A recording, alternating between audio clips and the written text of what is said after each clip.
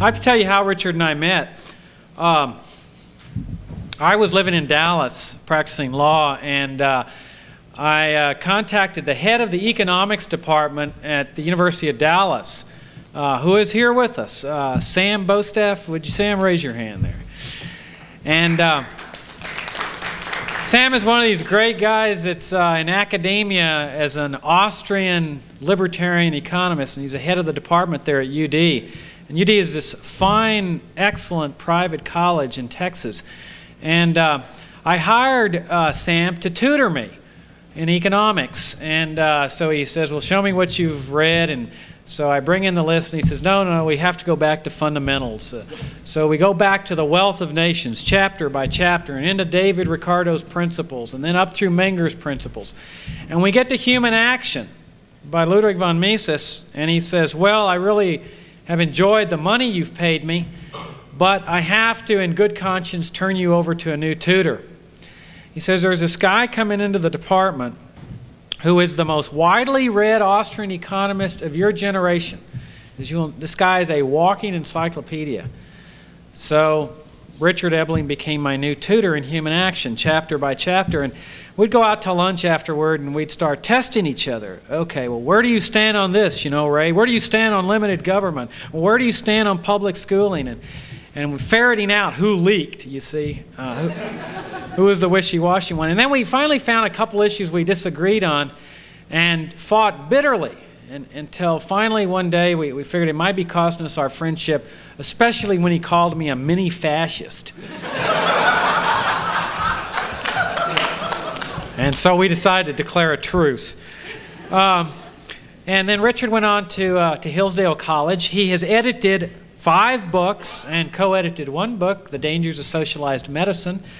Um, Richard is also a expert and scholar on the ex-Soviet Union, Russian history, Chinese history. Uh, he made several trips to the former Soviet Union during all of the chaos and the dismantling of the Soviet Union. Um, one of those trips was during the Soviet crackdown in Lithuania. Richard was there uh, advising the Lithuanian parliament. Uh, we think it was by coincidence that that happened at the same time. We're not sure. Uh, we have doubts whether it was a coincidence because uh, a while later he was in Moscow during the coup attempt. So we're not really sure. One of his colleagues suggested that since tanks go wherever he goes, uh, that maybe he ought to spend more time in Washington.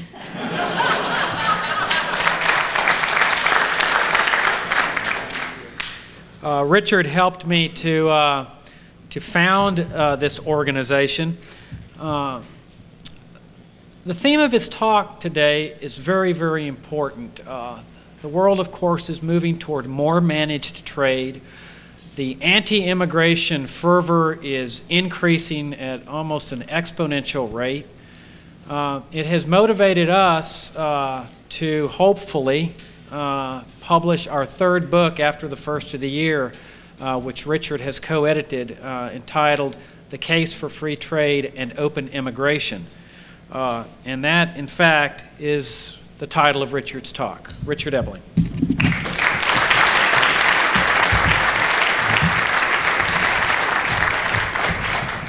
Thank you, and uh, welcome to our conference.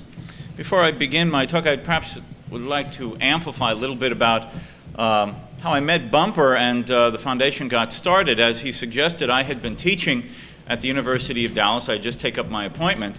And Sam Bostaph, the department chairman there, had recommended that Bumper approach me and have me tutor him through human action.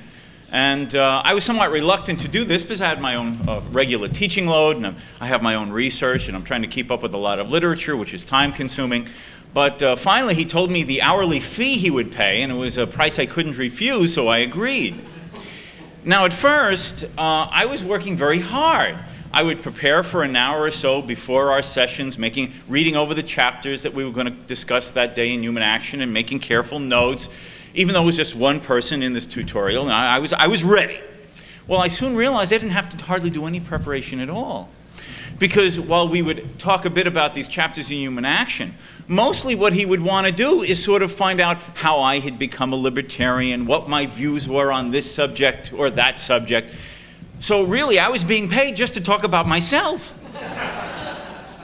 then on top of that, as he said, a lot of times we would want to go out to lunch. And uh, he would say, well, uh, let's continue talking over lunch. So he, we would often go to this Mexican restaurant not far from the, from the, uh, the campus. And invariably, he picked up the tab. So I figured I had it made. I had no work, great pay, and a free lunch. now, I have to confess that he then went off to the Foundation for Economic Education to be uh, program director there for a while. And he had paid me my, my last monthly fee, and he left before he got his money's worth. So uh, I'm, I'm only admitting all this because I assume the statute of limitation on contract breach has now been exceeded. But um, as Bumper mentioned, the third book that we're going to be putting out, we published last year, Dangers of Socialized Medicine, and then just recently out, uh, Sheldon Richman's book on separating uh, uh school and state. Our third book will be on this topic of the case for free trade and open immigration. And that is the theme that I want to spend a bit, time of, bit of time on with you this morning. Uh, if one reads the daily press, one has the Im impression that the world is a dangerous place, a violent place. For example, our television screens show the mass murders in Rwanda. We see the deadly and seemingly insoluble civil wars in places like the former Yugoslavia. We see superpower military intervention in places such as Somalia and Haiti. And we see acts of cruel terrorism, such as the Muslim fundamentalists in Algeria, who basically indiscriminately go after killing foreigners. This has happened in Egypt as well. And of course, brutal dictatorships, such as Saddam Hussein's in Iraq, or still the functioning Gulag in China. Yet, away from the headlines and the media sensationalism, the world appears, in fact, a much more peaceful place of commerce, culture, and communications. It's worth keeping in mind that tens of millions of dollars of goods and services cross borders every day in the form of ever changing patterns of imports and exports.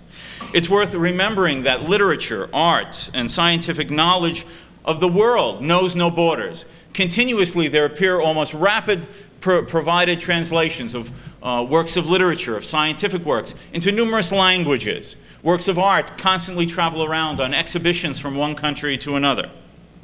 And it is also worth recalling that tens of thousands of people, I don't know the statistics, maybe the equivalent of millions of people every day, board airplanes, ships, get in their automobiles or get in trains and travel from one country to another constantly every day around the globe. And finally, through telecommunications, through telephones, fax machines, email systems, thousands and thousands of people communicate with each other continuously across not just hundreds but thousands of miles that uh, separate them. There is in fact occurring and has been occurring for a period of time an increasing unity of the world. In other words, the globalization of trade and globalization of the world is upon us. Trade, commerce, and investment appear to have no boundaries. In fact, a few years ago, you might recall uh, a book that uh, Richard McKenzie and Dwight Lee came out with called Quicksilver Capital, in which they emphasized that by the touch of a button, it was now possible for a person in one place of the world to send information about changing uh, technological ways of combining resources, of shifting ownership and use of assets, uh, in fact, to, to shift the capital structure of the world in terms of its location, its direction, its application, and its ownership.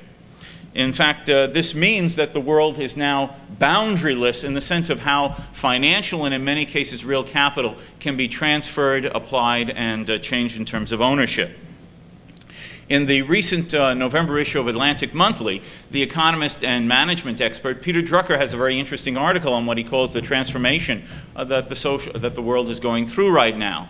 And he says that we are now passing out of the industrial age to what a number of other people have emphasized as the knowledge age. And he emphasizes that knowledge knows no boundaries. In fact, as he says, there is no domestic knowledge and no international knowledge. There is only knowledge. And with knowledge becoming the key resource, there is only a world economy even though the individual organization and its daily activities operates within a national, regional, or even local setting. By definition, a knowledge society is a society of mobility, Drucker continues. People no longer stay where they are born, either in terms of geography or in terms of social position and status.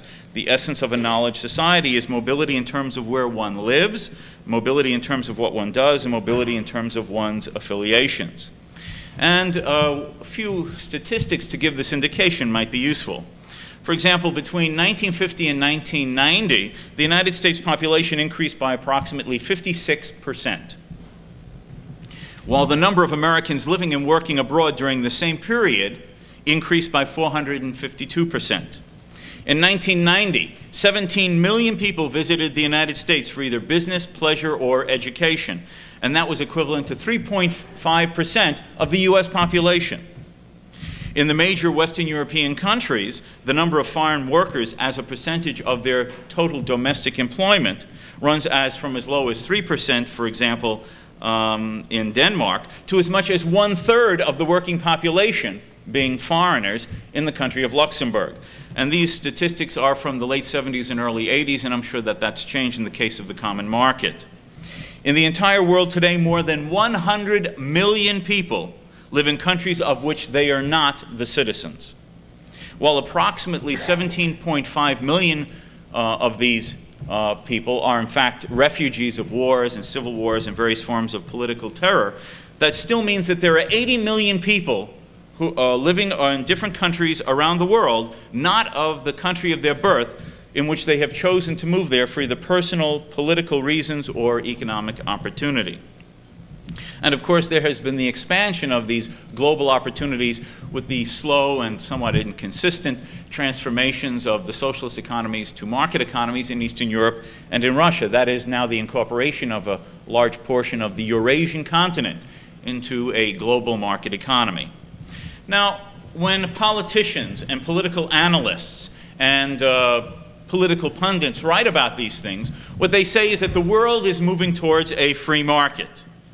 They referred to the further integration of the common market countries into the economic union as a movement towards a free market. They referred to the North uh, American uh, Free Trade Agreement as a movement towards a free market. They referred to the GATT agreement, the General Agreement on Tariffs and Trades, as a further movement towards free markets.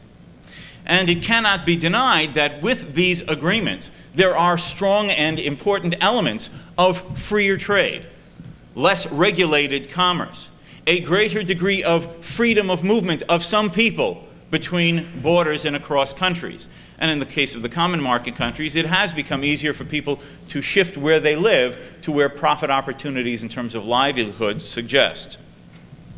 But a set of political arrangements among governments that permit degrees of freer trade and freer movements of people is still not a social system of free trade, free markets, and free immigration. It remains a political regime of managed trade, regulated markets, and controlled movements of people. Why? Because it still remains in the discretionary hands of these governments to determine the degree to which we shall have freer trade, less managed commerce, more freedom of movement. Even when more liberal policies are implemented, we remain unfree in an ultimate sense as long as government maintains and claims the right of maintenance of discretionary power to dictate and determine as they see fit to, to decide how much of these freedoms we shall have. These, this is an example of the continuing confusions of language where Americans and many people of the world believe that to have freer trade means free trade. To have less regulated commerce means to have free markets. To have a degree of greater freedom to live where you want means open immigration. And it's not. And these linguistic confusions are important to keep in mind, and we need to watch for them. Because what has been occurring is the same type of linguistic or terminological twisting as occurred earlier in the century with the word liberalism Bill Beach of the Institute for Humane Studies, in his talk last night at the Vienna Coffee Club, bemoaned the disappearance of the word liberalism from our lexicon. That liberalism had meant free trade, limited government, free enterprise, individual liberty, and how it had been usurped by the collectivists of this century to mean its opposites. We are in a period of time in which now, in sort of like an Orwellian newspeak, we have a situation in which managed trade means free trade regulated markets means free enterprise, and more open borders is taken to mean free immigration. They are not. They still mean the regulated economy and the paternalistic state.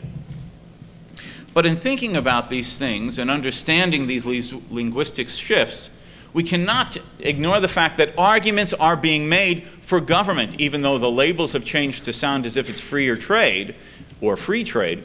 There, argument, there are arguments still being made in defense of government control to say, yes, freer trade, but we can't have free trade. Freer immigration, but we can't have free open immigration and it's important for us to spend a little bit of time understanding the logic of those arguments and developing refutations of them if we are to prove why these are not sufficiently uh, freer trade and why, in fact, there should just be no regulated trade. Now, I wanted to use a few examples in the time that we have. And I want to sort of look at the arguments that are sometimes made for restrictions on freedom of trade and freedom of immigration, and offer some counter arguments uh, against them. First of all, the most common argument that is heard against absolute free trade are the arguments of what can be called retaliation and reciprocity rationales. It is often argued that we live in a world of unfree trade, that governments will often impose trade barriers against American exporters who therefore are denied the opportunity to have access to the markets in that foreign country. And in the defense of that uh, U.S. exporter who is denied opportunity, it is necessary for the U.S. government to retaliate to set an example and a warning and to impose a price upon that offending foreign government. The question is when the retaliators make these suggestions, is that we must ask the question raise the question with them who is hurt from acts of retaliation? Well, first of all, the person hurt initially and primarily are the consumers in the American uh, market. Why is that the case?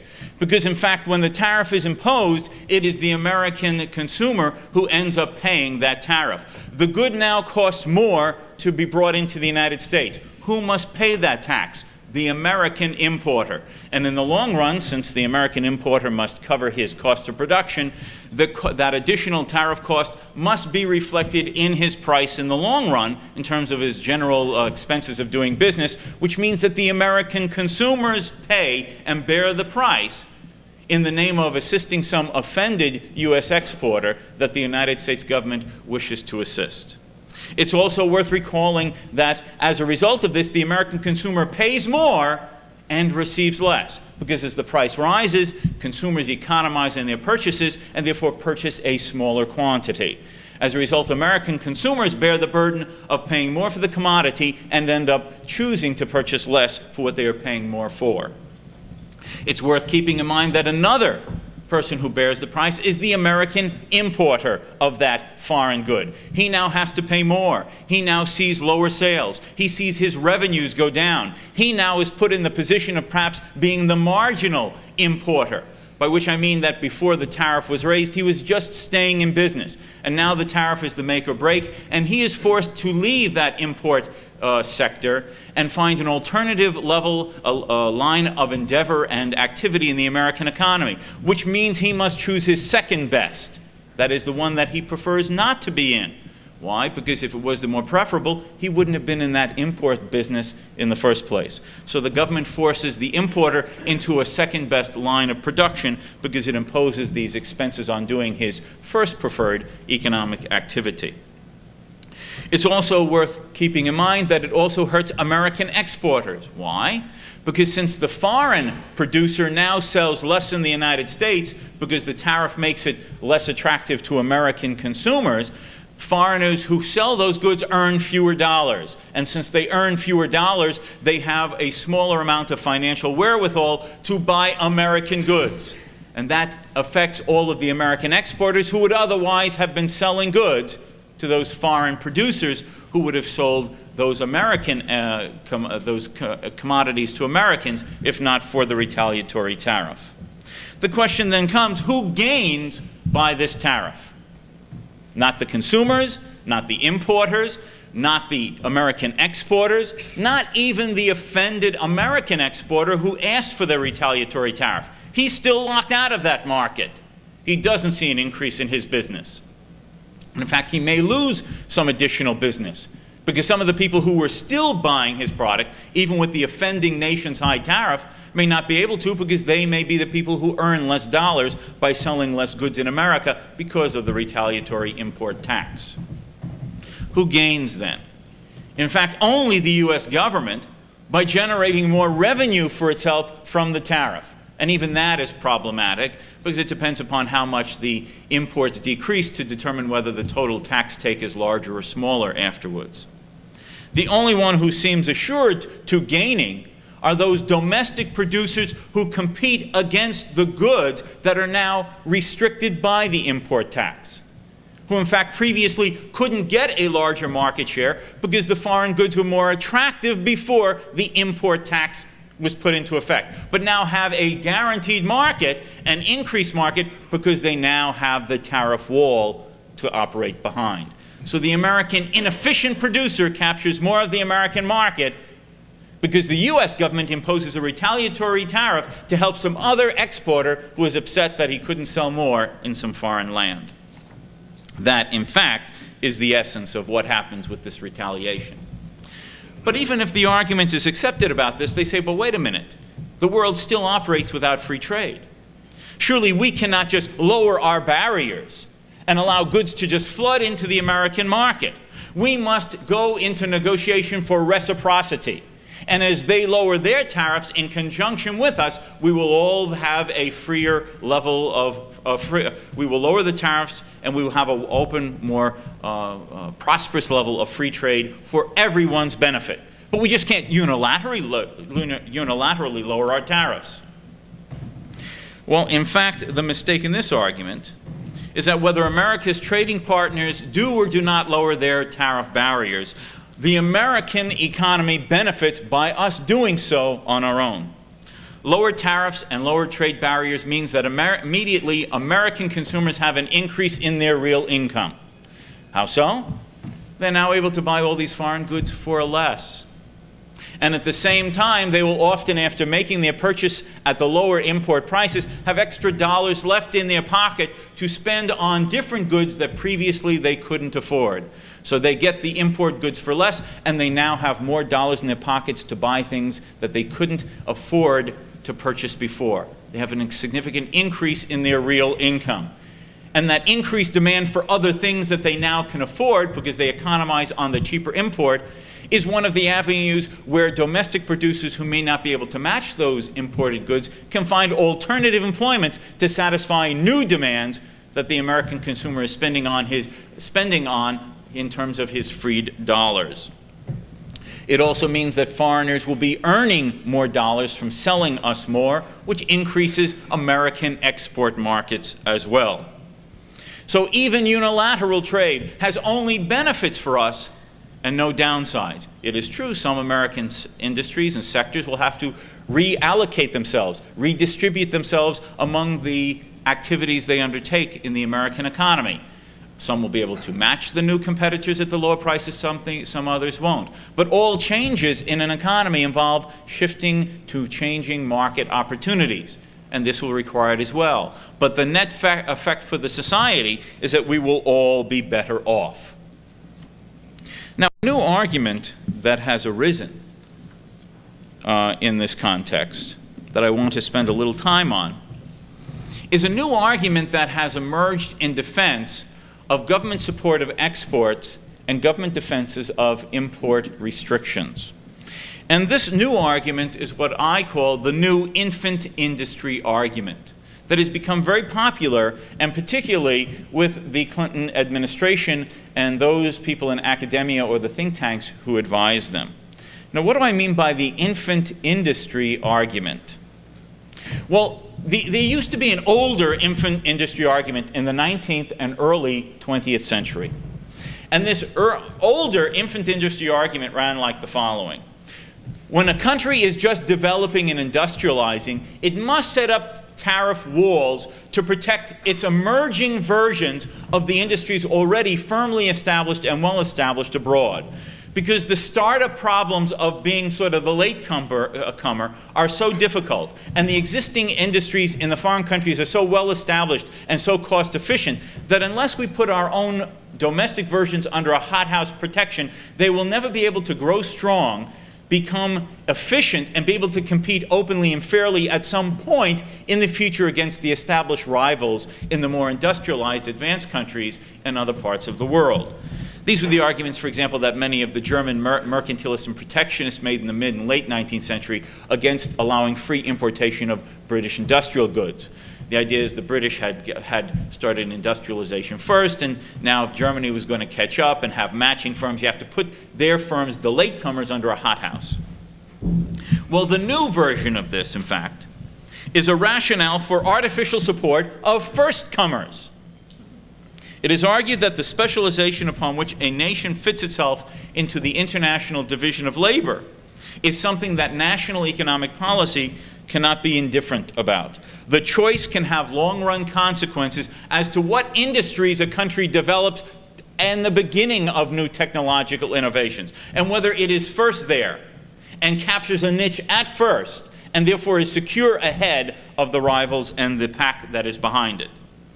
Basically, it is argued that there are certain technological uh, and high-tech industries and industrial activities that can give a country a potentially advanced jump on the rest of the world, a niche that can secure them a rising standard of living and a higher standard of living, and after they're established, will be difficult for other countries to sort of nip at their heels at. Now, this sometimes is referred to as strategic trade policy.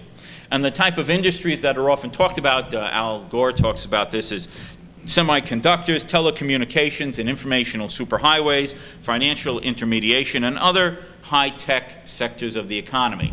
The government must subsidize and support these things, get them established, and then we will be there first, secure in the market, having incurred all of the startup costs while our rivals haven't, and we will be secure for a long period of time in a rising segment of the economy and that will guarantee us a head start and a good income position as a nation in terms of the global market. Now, to begin with, a problem with this is one that was pointed out over 20 years ago by an English economist named John Jewkes, who delivered a lecture called Government and High Technology. And in this lecture, he points out is that what is meant by high tech in policy discussions or debates? And what he said is that high tech when it enter, enters into uh, policy debates. In fact, it really has little to do with either the industry in question or the degree of the sophisticated scientific knowledge or application involved in bringing it online. Nor do these technologies really have to do with the amount of capital investment involved in bringing them online. He says that all the time, new technologies are put in place, and sometimes they involve sophisticated scientific and technological knowledge and information and complexity. And they often involve huge and massive amounts of initial startup capital investments. And these go on all the time and have always gone all, on all the time. What then makes these industries that government usually talks about in public policy different? And as he says it, high technology means exceptionally high risk technology.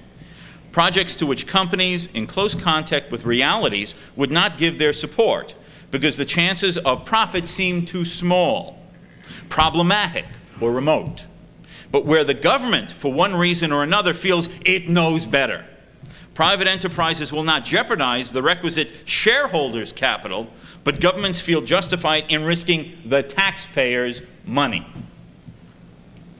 In other words, what we're talking about are particular technologies that the government presumes to know best should be invested in. Where, how, to what extent, by whom? In spite of the fact that the private sector has evaluated it as not worth the investment at this time. In fact, if they did offer the attraction of profit as estimated by the market participants themselves, the government wouldn't need to stimulate direct or or co uh, coax them into it. They would be already there before the government had even realized what was going on. And all of the arguments against these are basically the same arguments that the economists would make against variations on the central planning thing. How does the government know what the market wants? How does the government know the right technology? How does the government know the proper cost efficiencies and applications of resources? How does the government free itself from the political corruption of pressure groups who would be more interested in government dollars as opposed to satisfying consumer demand? But it's also worth pointing out that besides the political arguments, how would government know? How would government pick winners and avoid losers? How would the government avoid the corruptions involved in people lobbying for the government investment in high-tech dollars? It's worth pointing out is that always being first isn't advantageous. In fact, we would not always want from a sort of global or national point of view for every one of our companies to be the first online supplier. Why? Well, because it's worth keeping in mind that the initial supplier is the one who is burdened with the cost of opening this new market and making the product familiar to potential consumers. He must incur the experimentation costs to discover what qualities and features might be most interesting or useful for the consumer. He's the one who has to incur all of the startup investments of getting the bugs out of the new technology those who enter the market later in the process, in a sense, can easily ride the coattails of those newcomers by, in fact, being successful latecomers. They don't have to break the people's ignorance to begin with. The people already know about the product. All they have to do with their marketing is to persuade the consumers that they have available a better or less expensive substitute about something that is already a known quantity. They also can save on investment and technological costs. Why? Because the first comer incurred all of the technological problems of figuring out what the technology could do, getting the bugs out, what the market was interested in. And therefore, the late comer, the second comer, can invest in technology that incorporates all of the mistakes and successes of the first comer and therefore have technological plant and equipment more efficient than the first supplier. But what if the selective, what if governments in other countries still follow this path? What if other governments implement these high-tech in supported investments, subsidize them? Can we afford to let other countries undertake these high-tech subsidizations and sort of jump the gun on us while we just stand still and philosophically and theoretically say it doesn't matter and it's better if another one comes in second anyway because it may not be useful or as efficient to be the first comer on the block?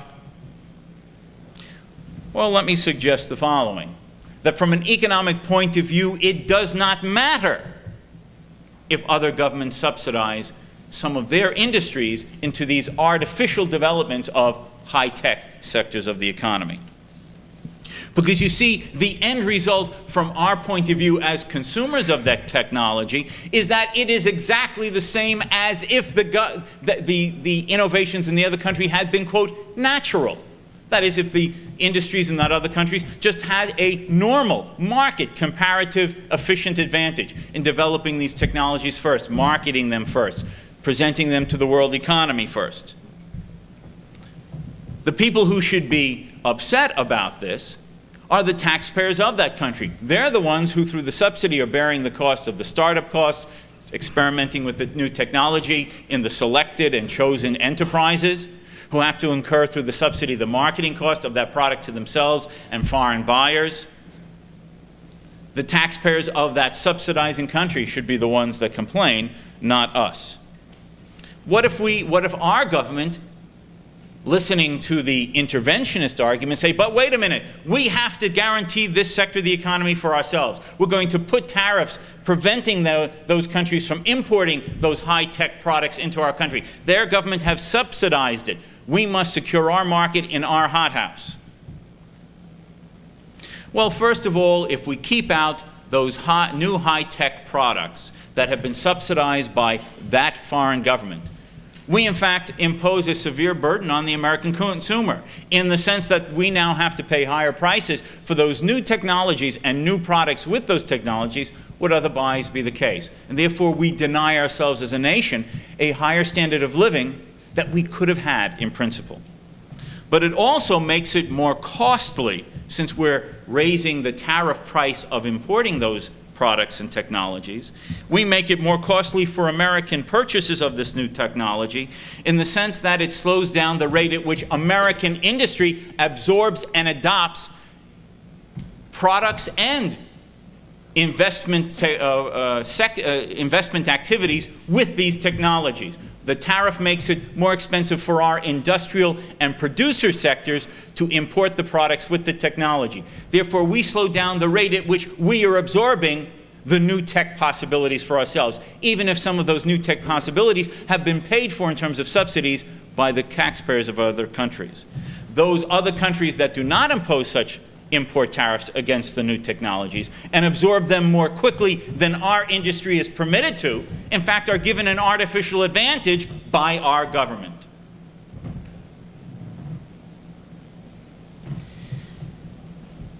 All of this means is that it would be better, most advantageous for us to again follow a policy of laissez-faire to allow those technologies to just enter the U.S. economy. Let other countries, either naturally and normally in the market or through the hothouse expense of their government subsidies, provide them online to us and for us to benefit from them. We gain everything and we lose nothing. It's also worth keeping in mind that this could set up a trade war. What kind of trade war? Well, if all these countries are now going to be trying to fight and jump the gun on each other on subsidizing high, technology, high tech products and high, new technologies and to try to be the first on the world market with it. What happens when countries find themselves competing against each other, each with their subsidized product, each with their subsidized new high tech products? Well, I would suggest that if several countries are simultaneously trying to market the same high tech products with subsidization, they will try to cow and intimidate and strong arm their weaker trading partners to accept those products whether they want them or not.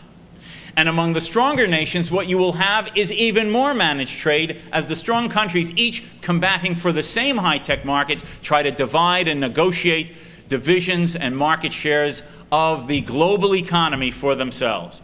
Well, you get this fraction of it, I get that fraction of it. So in the name of subsidizing high technology, we create a scenario in which competing governments, all doing the same, resort to the negotiating table to try to carve up the markets in a politicized, cartelized fashion. And already some advocates are seeing the consequences of this. One advocate of such managed trade said that to break old structures and overcome the effects of the industrial policies of other countries, it may be necessary for America to negotiate affirmative action for imports and foreign investments. So now these races to be first for high technologies around the globe will result in managed trade affirmative action. Each one would be given their fair share of the market. Let me turn briefly uh, to a number of other topics. My talk is on free trade and open immigration. I want to take a few minutes to talk about immigration not as an economic issue, but as a human rights issue.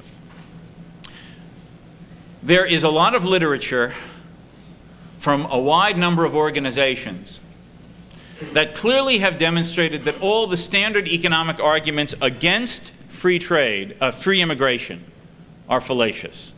Whether it be the arguments of an economist such as uh, Julian Simon, or the fine work done by Stephen Moore at the Cato Institute, or numerous other people, it has been demonstrated, I believe, conclusively when one reads the arguments, that the negative effects that many see in open immigration, freer immigration, are not sound and valid.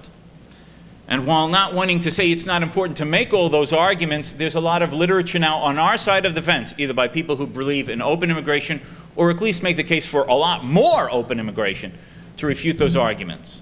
In my few little bit of time here, I want to talk about the human rights element. It's worth keeping in mind that the world has been transformed greatly during the last 150 years by the vast migrations of tens of millions of people across the continents of the globe. Between 1840 and 1940, 60 million Europeans left their home countries and settled on the other continents of the globe. 34 million of these 60 million Europeans between 1840 and 18, 1940, 34 million of these Europeans settled in the United States. 6.5 million settled in Argentina. 5.2 million settled in Canada. Brazil accepted 4.4 million. Australia took 2.9 million. The British West Indies, 1.6 million. Cuba, 600 860,000. South Africa, 552, 852,000 eh, and they on and on and on. The world has been transformed by these waves of just European immigration. Now, what enabled this European immigration to occur? Well, uh, my wife, who's often a critic of my, some aspects of my public addresses, always tells me that I read too many quotes in my talk, so I'm going to resist doing this.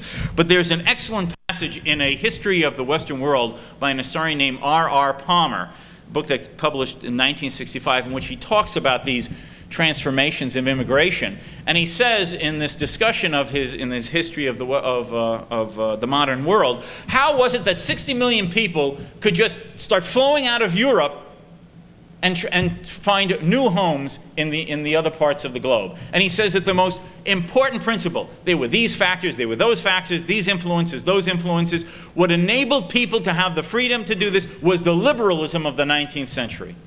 That no longer did governments tie people to the land. No longer did government restrict people to leave their countries. No longer did government confiscate the property of individuals. People were now free under classical liberalism to live where they wanted in this new era of liberty that was transforming Europe. And many of them admittedly wanted to come to America.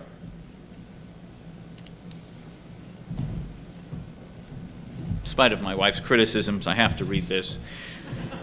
The rise of individual liberty in Europe, as well as the hope of enjoying it in America, made possible the great emigration. For so huge a mass movement, the most remarkable fact is that it took place by individual initiative and at individual expense. Individuals and family groups detached themselves atom by atom, individual by individual, from the mass of Europe, crossed the ocean on their own and reattached themselves atom by atom, individual by individual, to the accumulated mass of the New World. And while we, as in the United States, and the fact that many of our immigration waves have been European, we tend to think of that context, it's worth recalling that during the last 150 years there have been massive waves of migration from other parts of the world to other parts of the world. The movement of people from the subcontinent of India and what is now Pakistan to become merchants, tradesmen, craftsmen and, and the masters of commerce in East Africa, the Chinese who left China during the last 150 years and opened up and brought prosperity to many markets in Southeast Asia. Freedom of movement has transformed the world for both those who looked for better opportunities in other lands and for the lands in which they settled. And a fine summary of these benefits of immigration can be found in this most recent book by Thomas Sowell on race and culture in the chapter on race and immigration. I highly recommend it. It's an excellent little summary of several of the important themes on this topic of, of the positive effects of world migration during the last 150 years. But the importance of the immigration subject stems from the fact that there are few issues that touch so fundamentally on the, on the issues of human freedom as the question as to whether an individual has the right of freedom of movement to leave the country in which accident of birth has placed him, and the freedom to settle and to live and to work, and if he chooses to raise a family where he thinks that life can be made better for himself and for those he loves.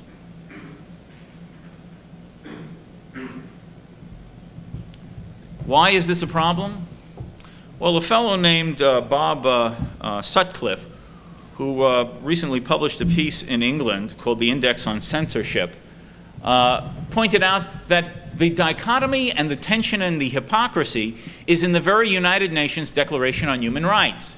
The Declaration of Human Rights says, the United Nations Declaration of Human Rights says, that an individual shall not be denied the right to move freely within his own country. The United Nations Declaration of Human Rights says an individual shall not be denied the right of a passport and the right of leaving his country and returning to his country freely as he chooses and without molestation. But what the Human Rights Declaration does is stop right there. Okay, the world, at least in this example of a public statement, the United Nations Declaration of Human Rights, has said you have a freedom to leave. But it says nothing of a freedom of a right to go and settle anywhere. That is viewed as the political privilege, discretion, power of the receiving country. And there is the perversity of it. Even if you can get out, even if you have lived under oppression and tyranny, even if you can get out, you can be not, you can no longer be assured that there is any place in the world that will permit you to come in. Jacob, in his remarks in his presentation, emphasized some of those unfortunate themes in the case of the Cubans, Haitians, and others. In other words, the world has practiced a perverse one sidedness in its belief in freedom. Now, this matters.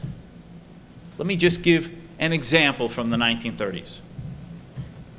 In June of 1939, a German ocean liner named the St. Louis left Hamburg, Germany, and came to North American waters. They were carrying over 900 German Jews.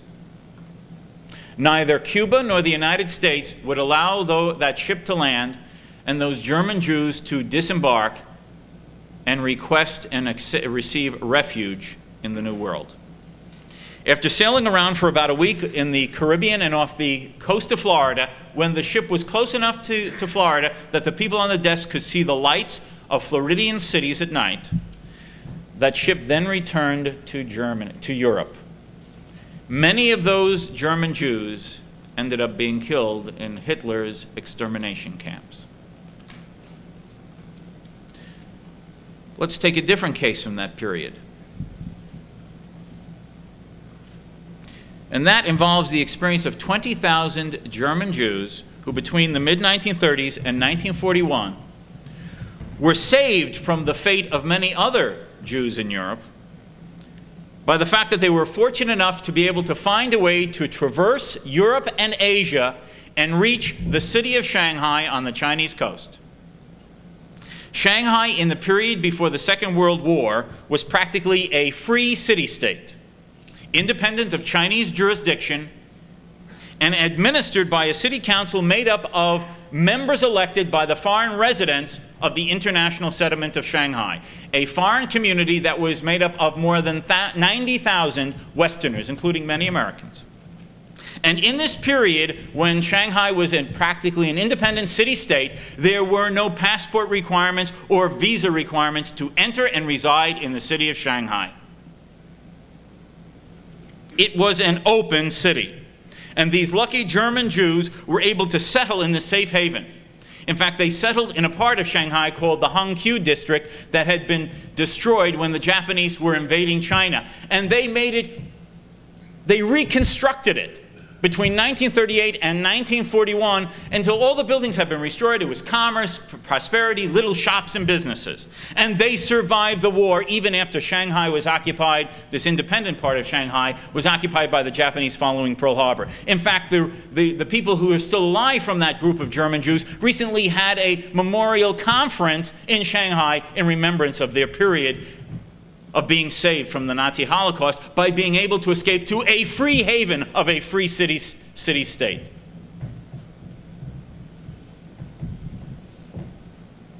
It's not sufficient to be able to have the freedom to leave, though, no matter, though that is absolutely important. People must have the freedom to be able to go somewhere if they can escape from the tyranny they fear.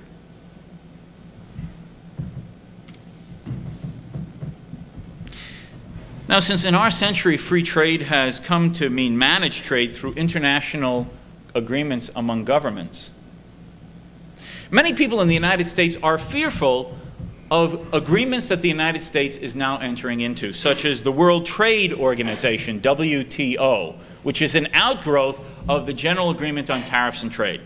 The idea being is that the World Trade Organization will become the trade equivalent of the World Bank, the International Monetary Fund, and that through this international organization of the World Trade Organization, member countries will become required to be subservient to the rules and the dictates of an international organization, and therefore the United States government will give up and cede its national sovereignty to a world organization who might dictate rules and policies involving trade that can threaten the liberties of Americans. Many of our conservative friends and colleagues are concerned about this, and quite justifiably, if in fact such an organization were to lead to such consequences.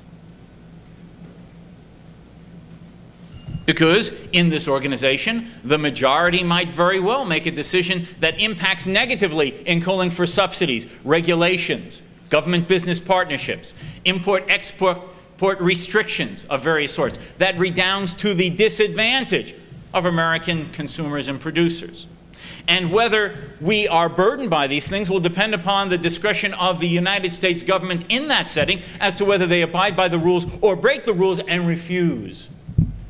Again, further arbitrary discretion of our economic fates being dependent upon Washington bureaucrats and political figures as to whether they will abide by an international organization's rules and edicts that may or may not be good for the freedom of the American citizenry. But this need not be the policy and the path that America follows.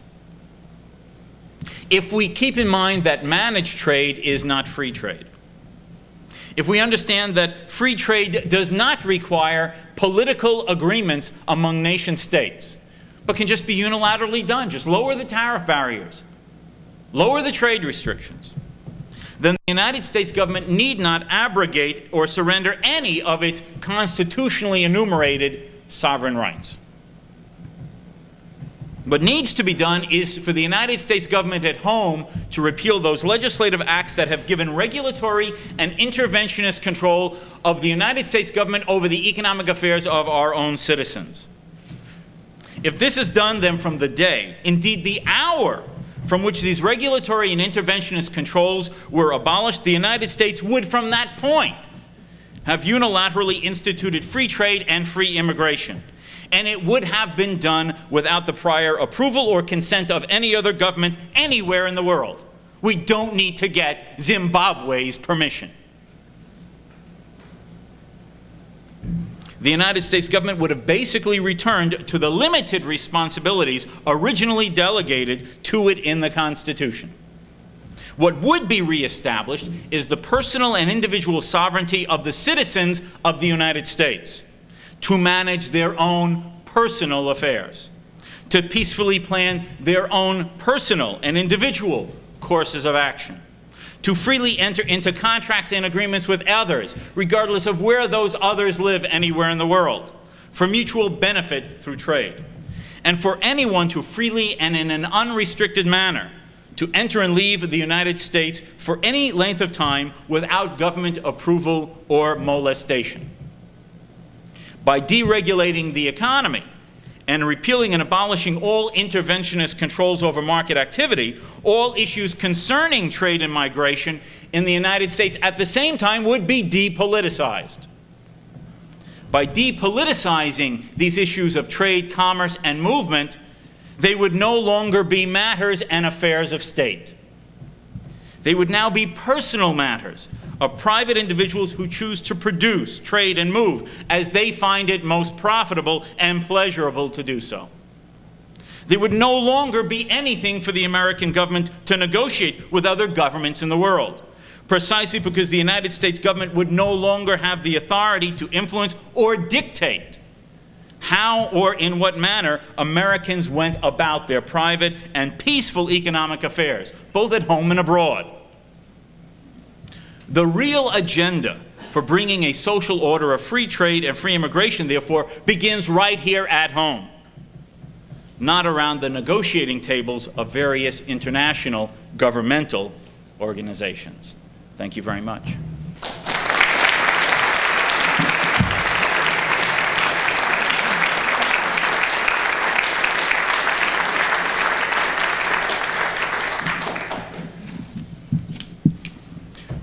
Okay, I think we have uh, a bit of time left for a few questions. Okay, this is time for rotten tomatoes, banana peels. Yeah.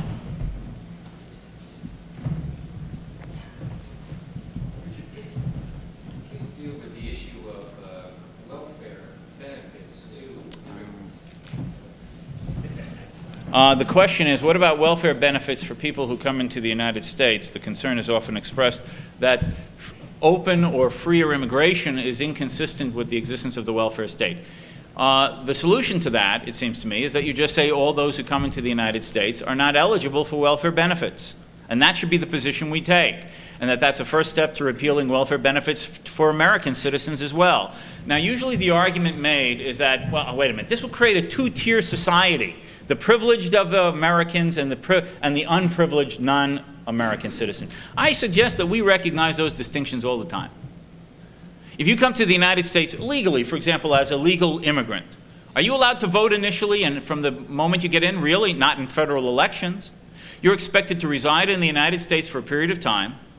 You're expected to then apply for citizenship. You're expected to take your little test on American history, take your oath, get your little certification, and then you're a full-fledged American citizen after you supposedly have immersed yourself in American culture, learned something about the American political tradition, and now are a, an informed new citizen to be eligible to participate in that most fundamental human right, the right to vote. We have a, we have a, a two-tier system of rights, those who vote and those who don't. Same thing. Those people who want to come to the United States do not receive welfare payments. And that is a first step to repealing it at home. It is better to make that position than to try to argue about, well, we shouldn't let too many in, or what can the system afford. Uh, even the proposal, for example, that has been made by some to sort of auction visa permits into the United States. Sounds good because why? Some people will say, well, the ones who most want to come here will be willing to pay to come in. And those with the most marketable skills will view that the investment up front is worth it in terms of future income to be earned uh, in the American market. It'll pay itself back, so to speak. All of that's true. I don't deny that. But what about all of the people who, because again, of accident, of circumstance, of birth, and the political and economic environment of their own oppressive government in their home country, can't afford to buy or bid for a visa permit. That, it seems to me, is unfair privilege and ranking. Um, so I think that the solution in my mind is just to say, sure, you can come in, but no welfare. Is it, is it possible to imagine other scenarios or forms to try to solve this? Perhaps so, but I think that our premise must be freedom, freedom to enter, freedom not to receive benefits because the welfare state is a form of redistribution of wealth, and to view that as an agenda from which to go further in our own country. Yeah. How do you, how do you answer those who argue that the um, free importation of goods is essentially unfair because of uh, much cheaper labor? Okay, the question is, is it unfair because of the cheaper labor in other countries? For example, imports at low prices uh, from third world countries. In fact, um, the, the, the, the, wages represent the productivity of those workers. Uh, workers receive a wage uh, reflecting their value in a production process. If the wages are low in those countries, it's because those countries are low pro productivity countries, which means they tend, they mean, that means they tend to produce products of lower marginal quality. Uh, so basically what they're doing is filling niches for low-income Americans who otherwise could not afford uh, more expensive products in the United States. For example, uh, let us suppose that you go into, uh, oh, what, Kmart or Walmart. Uh, what do you find in Kmart or Walmart if you go through the clothing stores? There, everybody would concede that Walmart and Kmart is not considered upscale, clo upscale clothes, right? And people who shop at Walmart or Kmart or stores like them, in general, as a generalization, are sort of in the lower income range. Okay, that as a, I think most of us would agree upon that as a generalization. Who is supplying them with the ability to be clothed or to have household utensils? Look at the labels. Okay, made in third world countries, in China, India. Uh, my wife and I were in J.C. Penney's not long ago in Michigan, and they were selling coats made in the Ukraine. Uh, many Americans would not want to buy a coat like that. Uh, it's quite possible that there are some Americans who have no alternative given their budgetary restraints but to do so. So to my mind, uh, low-wage industries, in fact, are filling the niche of supplying low-cost goods for the lower-end uh, income scale of Americans, and therefore are benefiting us. And at the same time, those lower-income people, uh, those low, low-wage producers are earning dollars, which enables them to import American goods that they otherwise couldn't afford. Hello. Yeah. I, I, I, come from Argentina. Mm-hmm. All of my grandparents are foreigners, even uh, my great grandparents. I mean, I'm a mixture of Italian, British, Swedish, a, a whole bunch of foreign bloods. So I have a, let's say, a moral point in favor of uh, free immigration. But sometimes it's difficult for me to, uh, some people ask, what isn't there a need to control the, let's say, the international terrorist uh, movement of people among, uh, among nations? Isn't it a necessity to, to check that in the immigration? Well, I think that the question, if you understood, is what about the problems of international terrorism? Uh, it seems to me is that immigration has little to do with terrorism. Most terrorists are not coming to the United States to settle here and take a job. I mean, if there is a terrorist, I mean, I, I think his motives are slightly different. Uh, I think that then it's just a policing responsibility uh, that if someone is suspected of likely of committing a crime or is or if the authorities believe that he is uh, has committed a crime, then that's just a matter of police work. But I think that with an, anyone coming into the country as with an American within the country, the presumption under our law must be that he is innocent until proven guilty that there must be uh, legitimate suspicion for either his person or his property to be molested through uh, an arrest or a seizure, uh, that he has due process of law. I mean, there could be a lot of people in the United States who might want to carry out terrorism in the United States or in other countries. Uh, would that justify the United States government on the possibility that there might be American potential terrorists to be snooping around and investigating everybody who wants to move between California and New York. What do you have some like left-wing potential bomb thrower? And you know, he lives in California. And he says, well, you know, I don't want to drop a bomb on some capitalist enterprise in California because it's easier to track me down. So I'll go to New York. Are, are we now going to have like border controls to check people out as to whether, you know, a potential terrorist is going across U.S. state lines? The same logic would require that. So it seems to me is, is that we just have to respect anyone who comes into the United States uh, with the same liberties and constitutional protections as we normally give an American, and to view the United States border internationally uh, as, in fact, nothing, not much different than someone who wants to cross from New Mexico to Utah. And by the way, I, I, I share uh, your imagery of, of uh, of a background of many different uh, uh, ethnicities and, and cultures, because I'm in the same position. My grandparents came from Europe uh, before the First World War. On my father's side, I'm German, Irish, and English. On my mother's side, I'm Lithuanian Jew and Russian Jew. Uh, I usually decided that this was great because being both Jewish and German, I, meant, I assumed that meant I was both the chosen people and the master race. The only difficulty is the nightmares I have at night in which one part of me throws to th tries to throw the other into an oven, but I've resisted that so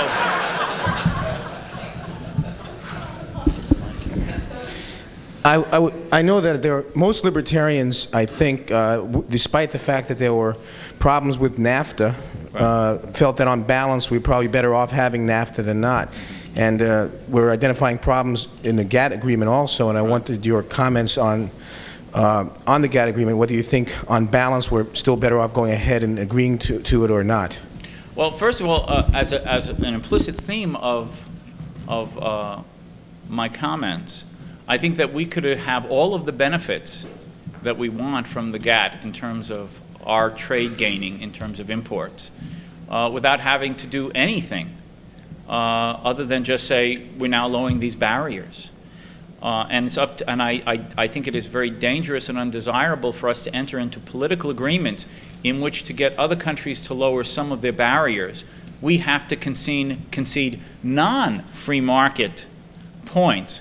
Okay, they'll lower this barrier in Mexico uh, if we'll lower that barrier in the United States.